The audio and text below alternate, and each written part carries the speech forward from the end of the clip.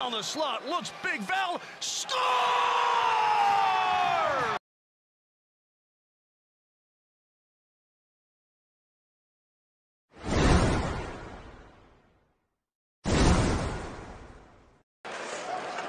Five to go in the power play. Riley faked the shot into the skates and back in down low in the slot. Good oh. save off lead. Right at the end of the penalty, and if you're not in great position, if the goaltender here, there's no way you don't stop the puck. I mean, boy, oh boy. The Islanders are going to go for two on the power play without a shot on the last one. In comes Barzal. Knocked off his stick. Taken by Chiarot, knocked off his stick right in, and they score. Nice Brock touch. Nelson on a stolen puck gets his team leading 26th goal. Just lifted this baby up underneath the crossbar. Was a who I got it, you take it. He stole it right off the stick of Ben Chiarot. It's not a turnover, it's a takeaway basically. Hit Chiarot's skate. He never did get possession after that. And a nice little lift by Brock Nelson to open the scoring in this game. Palmieri with a shot wide. Good lift to the stick to keep control in front. Oh, what a what save! A oh, what a stop! Point oh. blank on Kyle Palmieri, set up beautifully by Anders Lee. What a save by Alex Lyon to keep it just one nothing.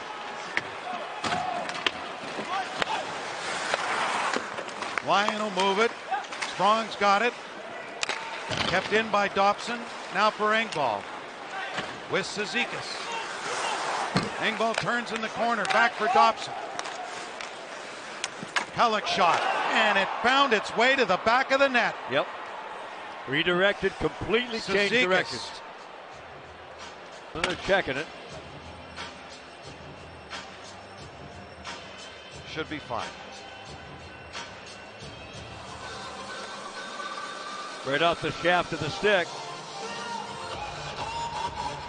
Ooh, that angle looked a little more close to the crossbar. And it is crossbar. Normally knocked down by a high stick at shoulder height. Uh, when the puck goes in, it's crossbar, but yeah. it looks to be okay. That one there, it doesn't look so bad. So yeah. it's 2 nothing Islanders, I'm pretty sure. Yeah. And they are up 8-3 in shots on goal. Red Wings had a lot better.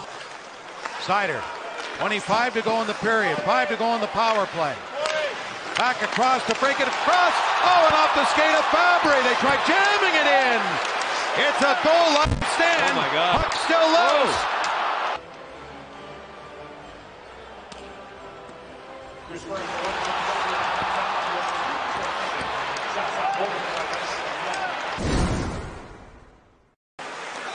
Race down ice here for DeBrincat across to Larkin. Back for DeBrincat again. Dylan Larkin with it. Larkin up front alone. Save made. Oh, loose puck DeBrincat. There by the Islanders. That play gets a scoring chance, and Larkin trying to go high. The end of a mask. I gotta think, I don't feel they need the next goal in this game. The way the Islanders are playing. And with Sorokin in net. Here's Perron. Maatta scores! There you go.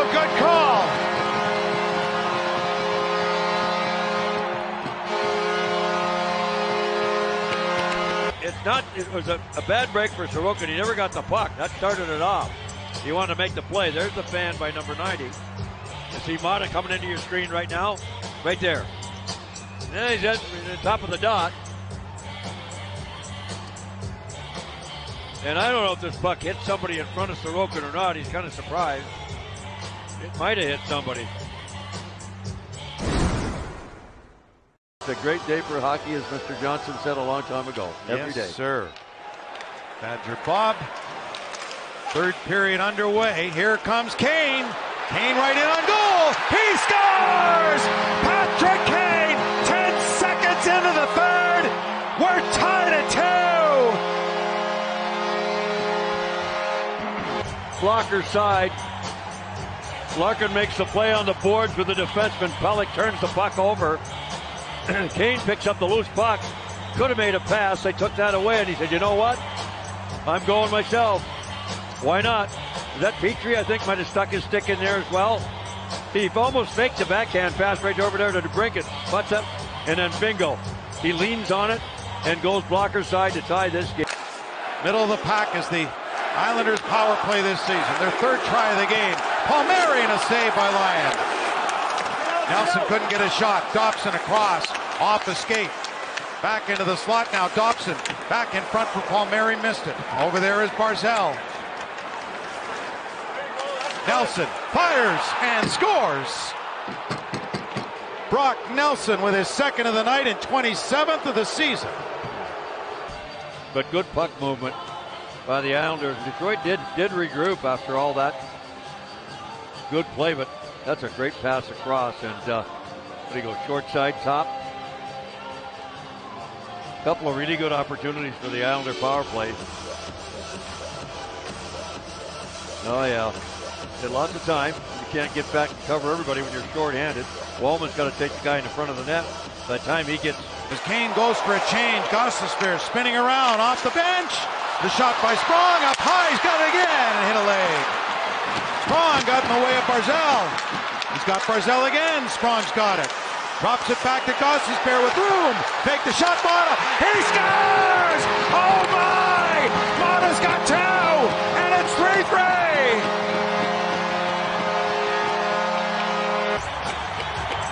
Well, the Islanders thought they had it clear, but Detroit had possession inside that blue line for a long time.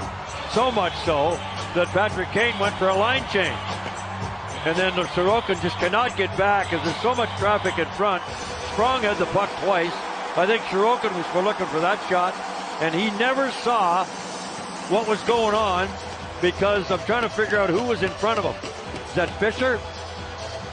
I think it was Fischer that completely screened Sorokin. We'll have to tied for fourth from the blue line brigade. Into the slot, Perron firing. Oh, Sorokin the save. Wow. Before back home to face the Coyotes March the 14th. Seider couldn't get it out. Kept in. Pelech, Dobson. Into a crowd. Loose puck. Barzal back in front, offsider, and they score. Barzal banked it to the front of the net. And a fortuitous bounce for the Islanders, Barzal. Can throw the puck to the front of the net. Again, it was a mad scramble. It goes underneath him from the left or from the left corner on Lyon. Somehow the puck came loose. And there underneath him, Hit it with his left skate, I believe, right there. Yep. Left skate and knocked it back in. Three at their blue line is what yeah. means. Here's DeBrincat across. Oh, what a save. And off the outside of the post. He shoots it in. Larkin hustling in after. Pelech tying it up for the Islanders. Cizikas around to Holmstrom. And Engvall's going to end it. Five to three, the empty net goal. Pierre Engvall has had a, a big night. Number 18 for the Islanders. He has. Winning streak's going to come to an end, and the Islanders are going to get a much needed two points. Well, they're coming to this game 10 back at Detroit, so they haven't given up. Yeah, it's a long road back to a playoff spot. And they're really chasing down the Metro in Philadelphia. As this game comes to a close, the Islanders win 5 3. Red Wings live postgame with Mickey Redmond joining Chris Osgood.